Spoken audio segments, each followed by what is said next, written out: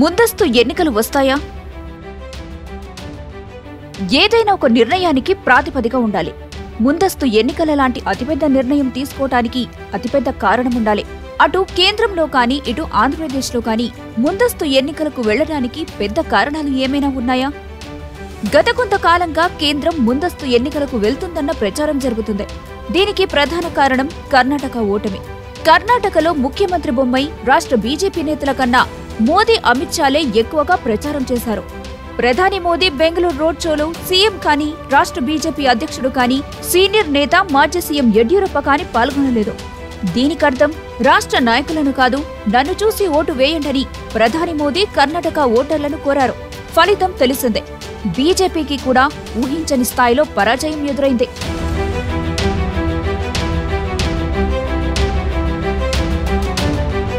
కర్ణాటక ఫలితాలు వచ్చిన నెలలోపే Madhya Pradesh pre poll సర్వేలు వచ్చాయి. అక్కడ కాంగ్రెస్ స్పష్టమైన మెజారిటీతో గెలుస్తుందని సీ ఓటర్ డైలీ ట్రాకర్ అంచనా వేసింది. ఛత్తీస్గఢ్లో కూడా కాంగ్రెస్ గెలుస్తుందని ఒక సర్వే నిన్న ప్రకటించింది. మరోవైపు రాజస్థాన్ కాంగ్రెస్లో సీఎం అశోక్ గెహ్లాట్ మరియు సచిన్ పైలట్ వర్గాల మధ్య సంధి కుదిరింది. సీఎం కొత్త పథకాలతో ప్రజల్లోకి వెళ్తున్నారు. రాజస్థాన్ కాంగ్రెస్లో మూడు వర్గాలుంటే బీజేపీలో ఐదు వర్గాలు నడుస్తున్నాయి. అక్కడ కూడా బీజేపీకి స్పష్టమైన విజయ అవకాశాలు కనిపించడం లేదు. రెండు వేల పద్దెనిమిది నవంబర్ డిసెంబర్లో జరిగిన రాజస్థాన్ మధ్యప్రదేశ్ మరియు ఛత్తీస్గఢ్ అసెంబ్లీ ఎన్నికల్లో కాంగ్రెస్ గెలిచిన లోక్సభ ఎన్నికల్లో బీజేపీ క్లీన్ స్వీప్ చేసింది. ఈ మూడు రాష్ట్రాల్లో మొత్తం అరవై ఐదు స్థానాలుండగా బీజేపీ ఏకంగా అరవై ఒక్క స్థానాలు గెలిచింది. కర్ణాటకలో ఇరవై ఎనిమిది స్థానాలకు ఇరవై ఆరు మహారాష్ట్రలో నలభై ఎనిమిది స్థానాలకు నలభై ఒకటి స్థానాలను బీజేపీ గెలుచుకుంది. అంటే ఈ ఐదు రాష్ట్రాల నుంచే బీజేపీ నూట ఇరవై ఎనిమిది స్థానాలను గెలుచుకుంది.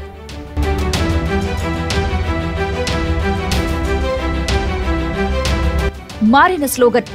రెండు వేల పంతొమ్మిది ఎన్నికలకు ముందు మోదీ కాకుంటే ప్రధాని ఎవరు అని ఎదురు ప్రశ్న వేసేవారు. దానికి బలమైన సమాధానం ప్రతిపక్షాల నుంచి ఉండేది కాదు. ఏఐసిసి అధ్యక్ష పదవి వద్దన్న రాహుల్ గాంధీ ప్రధానిగా సమర్థుడా అని బీజేపీయేతర పక్షాలు కూడా డైలమాలో ఉండేవి. ఇప్పుడు రెండు వేల ఇరవై నాలుగు ఎన్నికలకు మోదీ కాకుంటే అనే ప్రశ్న బీజేపీ వైపు నుంచి కూడా రావటం లేదు. వివిధ రాష్ట్రాల్లో ఎన్నికల బాధ్యతలు రాహుల్ గాంధీ తీసుకోవటం వల్ల ఆయన నాయకత్వం మీద కాంగ్రెస్ వర్గాల్లో కూడా విశ్వాసం పెరిగింది.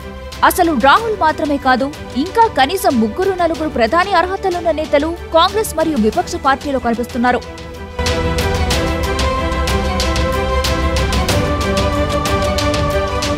కర్ణాటక ఎన్నికల్లో మాదిరై అధిక ధరలు నిరుద్యోగం రాబోయే ఎన్నికలకు ప్రధాన అజెండా అవ్వబోతున్నాయి. కేంద్ర ప్రభుత్వం యూనిఫామ్ సివిల్ కోడ్ బిల్లు తీసుకొచ్చినా అది ఎన్నికల అజెండా అవ్వటానికి అవకాశం తక్కువే. బీజేపీ ఓడిపోతుందా? నిర్విత్వంగా బీజేపీ ఓడిపోదని చెప్పొచ్చు. కనీసం రాబోయే నాలుగు రాష్ట్రాల ఎన్నికల ఫలితాలు వచ్చే వరకు అయితే బీజేపీ స్వయంగా రెండు వందల డెబ్బై మూడు మ్యాజిక్ ఫిగర్ను దాటుతుందా? ఎన్డీఏలో మిగిలిన చిన్న చిన్న భాగస్వామ్య పక్షాల మీద ఆధారపడకుండా ప్రభుత్వాన్ని ఏర్పాటు చేస్తుందా? ఇప్పుడు రాజకీయ విశ్లేషణలు దీని చుట్టే జరుగుతున్నాయి. పోనీ కూటమిగా ఎన్డీఏ రెండు వందల డెబ్బై మూడు మార్కు సాధిస్తుందా?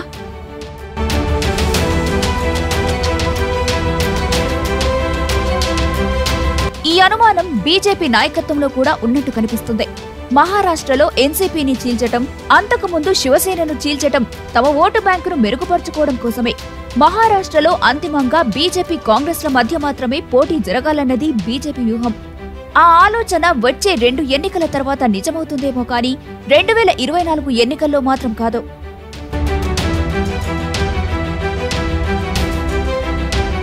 మరోవైపు దాదాపు ఆరేళ్ళ తర్వాత చంద్రబాబు నాయుడుకి అపాయింట్మెంట్ ఇవ్వటం అకాలీదళ్ను తిరిగి ఎన్డీఏలోకి తీసుకురావడానికి ప్రయత్నాలు చేయటం చూస్తే బీజేపీ ముప్పై ఐదు నుంచి నలభై సీట్ల మద్దతు కోసం ఇప్పటి నుంచే ప్రయత్నం చేస్తున్నట్టుంది. ఆరేడు నెలల కిందటి వరకు తెలంగాణలో రాబోయేది మా ప్రభుత్వమే అని బీజేపీ నేతలు బీరాలు పలికేవారు. ఇప్పుడు తెలంగాణలో కాడి వదిలేశారు. మునుగోడు ఉప ఎన్నిక పొంగులేటి శ్రీనివాసులరెడ్డి లాంటి నాయకులను తమవైపు ఆకర్షించలేకపోవటం విశ్వేశ్వరరెడ్డి మరియు జితేంద్రరెడ్డి బహిరంగంగానే పార్టీ పనితీరును విమర్శించడం ఈటెల మరియు కోమటిరెడ్డి రాజగోపాల్ రెడ్డి పార్టీలో ఉంటారా లేదా అన్న అనుమానాలతో వారికి కీలక పదవి ఇవ్వటం వీటన్నింటిని మించి ఈటెల వ్యతిరేకించిన బండి సంజయ్ను అధ్యక్ష పదవి తప్పించి అంతగా క్రియాశీలం కాని కిషన్ రెడ్డిని అధ్యక్షుణ్ణి చేయటం ఈ పరిణామాలు చూస్తే రాబోయే ఎన్నికల్లో తెలంగాణ మీద బీజేపీకి ఆశలు లేనట్టే.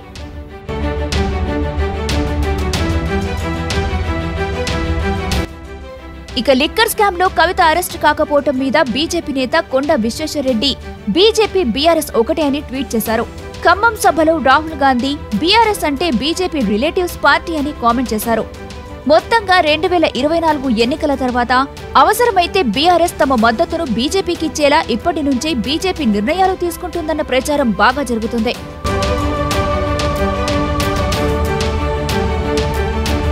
మరోవైపు ఆంధ్రప్రదేశ్లో జగన్మోహన్ రెడ్డి ఇప్పటి వరకు అన్కండిషనల్గా బీజేపీకి మద్దతు ఇస్తూ వచ్చారు. గత రెండు నెలల్లో కేంద్రం నుంచి రెవెన్యూ లోటు పోలవరం పెండింగ్ బిల్ ఎఫ్ఆర్ఎంపీ పరిమితి దాటి రుణం వెరసి దాదాపు ఇరవై ఐదు వేల కోట్ల నిధులు ఆంధ్రప్రదేశ్కు దక్కాయి. వీటిని ఇప్పటి వరకు జగన్మోహన్ రెడ్డి కేంద్ర ప్రభుత్వానికిచ్చిన అన్కండిషనల్ మద్దతుకు రిటర్న్ గిఫ్ట్గా చూస్తున్నాయి. రెండు వేల ఇరవై నాలుగు తరువాతి బంధానికి బలమైన పునాదులు వేస్తున్నట్టుగా భావించాలి. ఆంధ్రప్రదేశ్ కూడా ముందస్తుకు వెళ్తుందా? ఇక్కడ రాసిన కారణాలు మరియు రాయని మరికొన్ని కారణాలతో కేంద్రం ముందస్తు ఎన్నికలకు వెళ్తే ఆంధ్రప్రదేశ్ కూడా ముందస్తు ఎన్నికలకు వెళ్తుందా? దీనికి డీఫాల్ట్ సమాధానం ఉంది. శాసనసభ గడువు ముగియటానికి అంటే శాసనసభ తొలి సమావేశం జరిగినప్పటి నుంచి ఐదేళ్ళ పాటు శాసనసభ కాల పరిమితి ఉంటుంది. అయితే ఆరు నెలల ముందే శాసనసభను రద్దు చేసి ముందస్తు ఎన్నికలు నిర్వహించవచ్చు. ఉదాహరణకు కేంద్ర ప్రభుత్వం వచ్చే డిసెంబర్లోనే జనవరిలోనే ముందస్తు ఎన్నికలకు వెళ్తే ఎన్నికల సంఘం ఆంధ్రప్రదేశ్ ప్రభుత్వ నిర్ణయంతో సంబంధం లేకుండా లోక్సభతో పాటు శాసనసభకు కూడా ఎన్నికలు నిర్వహించవచ్చు. అంటే కేంద్రంతో పాటు ఆంధ్రప్రదేశ్ కూడా ముందస్తు ఎన్నికలకు వెళ్ళటం ఖాయం. ముందస్తు ఎన్నికలు ఎన్ని రోజుల ముందు ప్రకటించాలి? జూన్ మొదటి వారంలో రాజస్థాన్ మహారాష్ట్ర ఛత్తీస్గఢ్ ఎన్నికల నిర్వహణకు సంబంధించి ఎన్నికల సంఘం అధికారుల ట్రాన్స్ఫర్లను పూర్తి చేయమని ఆదేశాలిచ్చింది. ఎన్నికలతో ప్రత్యక్ష సంబంధం ఉండి దీర్ఘకాలంగా ఒకే చోట ఉన్న అధికారులను సహజంగా బదిలీ చేస్తారు. ఎన్నికల నోటిఫికేషన్ మాత్రం ఇరవై ఐదు నుంచి ఇరవై ఎనిమిది రోజుల ముందు గజెట్ విడుదల చేస్తారు. ఈ రోజు నుంచి ఎన్నికల కోడ్ అమల్లోకి వస్తుంది. Nomination scrutiny withdrawal polling counting తేదీలను ఈ నోటిఫికేషన్లో ప్రకటిస్తారు. ఉద్యోగుల బదిలీ అనేది తప్పనిసరి అంశం కాదు. అదొక ఫార్మాలిటీ. కాబట్టి కేంద్రం కోరుకుంటే ఎన్నికల సంఘం ఒక నెలలోనే ముందస్తు ఎన్నికల మీద నిర్ణయం తీసుకోవచ్చు. రాబోయే నవంబర్ డిసెంబర్ నెలల్లో మిజోరాం రాజస్థాన్ మధ్యప్రదేశ్ ఛత్తీస్గఢ్ తెలంగాణల శాసనసభలకు ఎన్నికలు నిర్వహించాలి.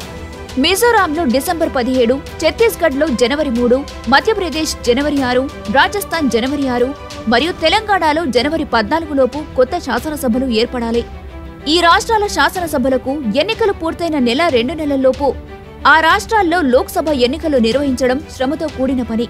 కేంద్రం ముందస్తు ఎన్నికలకు వెళ్ళదలుచుకుంటే డిసెంబర్లో ఎన్నికలు జరిగే అవకాశం ఎక్కువ. గత సెంటిమెంట్. అలిపిరి సంఘటన తర్వాత చంద్రబాబు నాయుడు ముందస్తుకు వెళ్ళాలని నిర్ణయం తీసుకున్నారు. ఆ దాడి ఘటన తర్వాత హైదరాబాద్ ఇంట్లో రోజు ఒక స్కూల్ పిల్లలు వచ్చి చంద్రబాబుకు పువ్వులిచ్చే కార్యక్రమం నిర్వహించారు. సానుభూతి కలిసొస్తుందన్న ఆలోచనతో ముందస్తుకు వెళ్ళారు. వెంకయ్య నాయుడు చంద్రబాబు నాయుడు ఒత్తిడితో వాజ్పేయి కూడా ఐదు నెలల ముందే ఇండియా షైనింగ్ పేరుతో ముందస్తుకు వెళ్ళారు. వీరిని చూసి Karnataka Congress CM S N Krishna కూడా ముందస్తు ఎన్నికలకు వెళ్ళారు. కేంద్రం ఆంధ్ర కర్ణాటకలో అధికార పార్టీలు ఓడిపోయాయి. కర్ణాటకలో హంగ్ వచ్చింది. జేడీఎస్ కాంగ్రెస్ కూటమిలో కాంగ్రెస్ నేత ధరం సింగ్ సీఎం అయ్యారు. రెండు వేల నాలుగు ఫలితాల తర్వాత భారత్ వెలుగుతుందంటూ వాజ్పేయిని ముంచిన ఇద్దరు నాయుళ్ళు అని చంద్రబాబు నాయుడు వెంకయ్య నాయుడు ఫోటోలతో ఇండియా టుడే ఆర్టికల్ రాసింది. ముందస్తు ఎన్నికల అంచనాతో షేర్ మార్కెట్లు మాత్రం టాలీ అవుతున్నాయి. బీజేపీ రాష్ట్ర అధ్యక్షుల మార్పు హర్యానా మణిపూర్ సీఎంల మార్పు మీద ఊహాగానాలు ముందస్తు ఎన్నికల మీద అంచనాలు పెంచుతున్నాయి. అయితే రాజకీయాల్లో సెంటిమెంట్ ఎక్కువ. సరిగ్గా ఇరవై ఏళ్ళ కిందట జరిగిన ముందస్తుల్లో అందరూ ఓడిపోయారు. మరిప్పుడు ముందస్తుకు వెళ్తారా అంటే ట్రిగ్గర్ మాత్రం కేంద్రం చేతిలోనే ఉంది. బుల్లెట్ వదలాలా లేదా అనే నిర్ణయం ఎప్పుడైనా తీసుకోవచ్చు లేదా వెనక్కి తీసుకోవచ్చు.